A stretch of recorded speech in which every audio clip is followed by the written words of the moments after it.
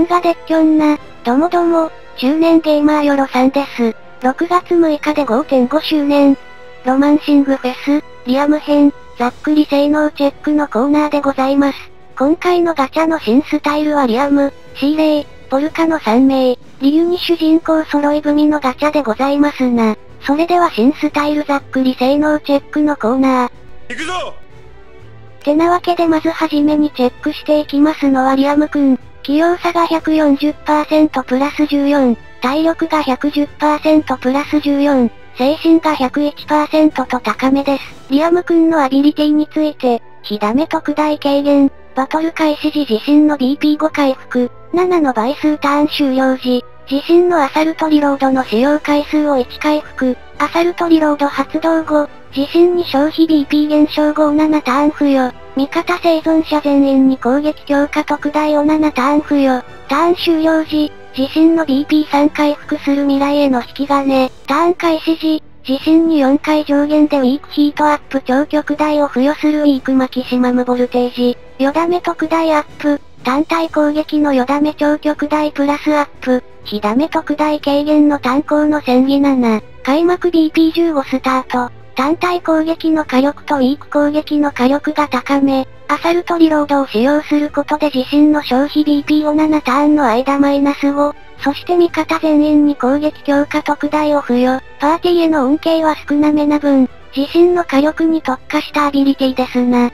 リアム君のスキルについて、BP3 で使える B 威力打単体攻撃のバレットショット。こちらは自身以外の味方全員の OD ゲージ小アップのおまけ付き。BP6 で使える自身補助技のアサルトリロード。こちらは使用回数1回までの制限付き。自身に未来への弾丸、6回、をターン数制限なしで付与。未来への弾丸、6回、はターン開始時に6回上限で、自身にエクストラフォース、打中、と追撃、シックスバレット、を1ターン付与。敵全体にウィークマーカー、打防御弱化、を1ターン付与の効果。BP15 で使える E 威力打単体6回攻撃のシックスバレット。開幕にアサルトリロードを使用して自身に未来への弾丸、6回、を付与。以降はシックスバレットとバレットショットをループさせて、7の倍数ターンの終わりにアサルトリロードの使用回数が回復したら、次のターンにアサルトリロードを使うといった感じですな。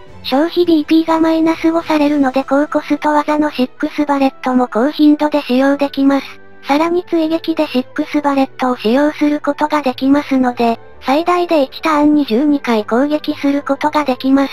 敵全体にウィークマーカー、打防御弱化、を付与できますので、打属性パーティーで編成してあげると良さそうです。打の単体火力に特化したスタイルですな。パーティーへの恩恵はいまいちですがその分しっかり火力で貢献してくれます。続きましてチェックしていきますのは C レイ。器用さが123%プラス14、知力が111%プラス14、精神が105%と高めです。C レイのアビリティについて、味方全体のよだめ特大アップに火ダメ大軽減、バトル開始時自身の BP5 回復、味方全員に最大 BP 増加10を永続付与、ターン開始時、味方全員に攻撃強化特大と防御強化大を1ターン付与。体力と精神を大アップ。攻撃スキル命中時、参考級と光源資源で確定追撃する調和の紡手。参考級はい威力と強い単体攻撃。自身の BP を3、5、7とランダム回復のおまけ付き。光源資源はい威力と強い単体攻撃。味方全員の腕力、器用さ、知力小アップ。自身の BP1 回復のおまけ付き。ターン開始時、味方全員の HP 極小回復に攻撃強化台を1ターン付与。さらに5回上限で味方全員にヒートアップ中を付与するリザーブフィールド。火ダメ特大軽減。味方全員生存時味方全員のよだめ中アップに火ダメ大軽減のスーパースクラムガード。開幕 BP15 スタート。味方全員の最大 BP をプラス10。味方全員のよだめ特大アップに火ダメ大軽減。全員生存時にはさらによだめ中アップに火ダメ大軽減。ターン開始時に攻撃強化特大と防御強化大を1ターン付与。さらに体力と精神バフ大も付与。他にも味方全員の HP 極小回復に攻撃強化大1ターン付与。5回上限でヒートアップ中も付与。編成するだけでこれだけの恩恵をパーティーにもたらしてくれます。攻撃時には参考級と光源資源で確定追撃。ランダムな値ですが自身の BP を回復しつつ、味方全員に腕力、器用さ、知力バフをばらまくことができます。C レイのスキルについて、BP3 で使える E 威力と強縦一列攻撃の連中や、こちらは攻撃命中時、対象に精神デバフ中とスタン付与のおまけ付き、BP14 で使える E 威力と強単体攻撃の霊視家電、こちらは味方全員に攻撃強化台と防御強化賞を3ターン付与に HP 極小回復。自身以外の味方全員の BP7 回復のおまけ付き。BP15 で使える E 威力と強単体ランダム4回攻撃のサミダレ波及。こちらは攻撃するたび味方全員の精神小アップのおまけ付き。霊視家電で攻撃しつつ味方全員に攻撃強化台と防御強化賞を付与。さらに味方全員の HP 極小回復に自身以外の味方全員の BP7 回復。基本的にはこの技を主軸に戦っていく感じですかね。参考級での BP 回復や周りでのサポートを絡ませることでコンスタントに使用することができます。連中や出縦一列の敵に対して精神デバフとスタン付与が可能。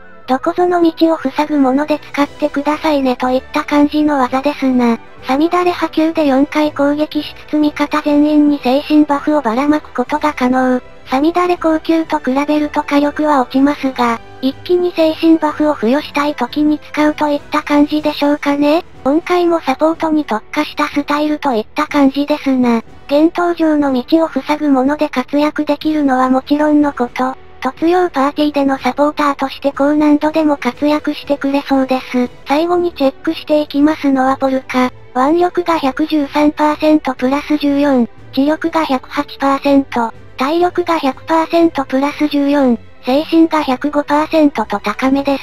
属性耐性は熱がプラス65と高いですが、霊がマイナス25と低いのは変わらずでございます。ポルカのアビリティについて、バトル開始時、自身に属性ダメージ無効、熱、を永続付与。味方全員に戦いの心3回をターン制限なしで付与。結束の魂、主張の羽ばたき発動後、自身の BP3 回復、自身に防御強化特大とガードアップ大を2ターン、さらに自身の体力、精神、愛、魅力を極大アップ、ターン終了時に気絶している場合、自身の HP 特大回復で復活する希望の主張。戦いの心3回はターン開始時に3回上限で、自身に攻撃強化特大と防御強化中を1ターン付与。自身の腕力、器用さ、素早さ、知力大アップ。さらに自身にターン終了時 BP 回復プラス2とターン終了時 OD ゲージ上昇中を1ターン付与の効果。ターン開始時、味方全員の全捨て大アップに攻撃強化台を1ターン付与。さらに5回上限で味方全員にヒートアップ中を付与するアサルトフィールド。火ダメ極大軽減。ターン終了時自身の HP を小回復するハイプロテクトヒーリング。熱属性を含むダメージを永続無効。ターン終了時に自身の HP 小回復。ターン終了時に気絶している場合は特大回復で復活。開幕味方全員に戦いの心3回付与で火力と耐久力だけでなく、BP や OD ゲージのサポートも可能です。他にもターン開始時に味方全員に全捨てバフに攻撃強化台、ヒートアップ中付与でさらに火力の底上げで貢献してくれます。ポルカのスキルについて、BP1 で使える E 威力残熱単体攻撃のご縁剣。こちらは自身の HP 極小回復とガードアップ小2ターン付与のおまけ付き。BP5 で使える味方全体補助技の結束の魂。こちらは使用回数1回までの制限付き。味方全員に攻防の戦技力を永続付与の効果。攻防の戦技力は自身のよだめ超極大アップ。火ダメ特大軽減の効果。BP10 で使える味方単体補助技の主張の羽ばたき。対象に戦いの心3回と味方全員に戦いの心1回をターン制限なしで付与の効果。結束の魂で味方全員に攻防の戦技力を永続付与。主張の羽ばたきで対象に戦いの心3回。味方全員には戦いの心1回を付与。これらの技を使用すればアビリティで自身の BP3 回復に防御強化特大とガードアップ大、体力、精神、愛、魅力極大バフで自身の耐久力をアップすることができます。ただ攻撃技は5円剣しかないので自身は火力では貢献できません。ポルカでは珍しい完全にサポートに特化したスタイルですな。自身で火力を出すことはほとんどできませんが、サポーターとして高難度で活躍しまくってくれるかもしれません。というのがこちらのガチャで実装されたスタイルの私の感想でございました。現登場の戦力補強でリアム君とシーレイが気になるところ、銃と弓の戦力が足りてないなら確保しておきたいところです。が相変わらず期間が長いので今は様子見が良さそうですな。以上、6月6日で5.5周年。ロマンシングフェス、リアム編、新スタイルざっくり性能チェックのコーナーでございました。それでは、また次の動画でお会いいたしましょう。最後までご視聴いただきありがとうございました。では、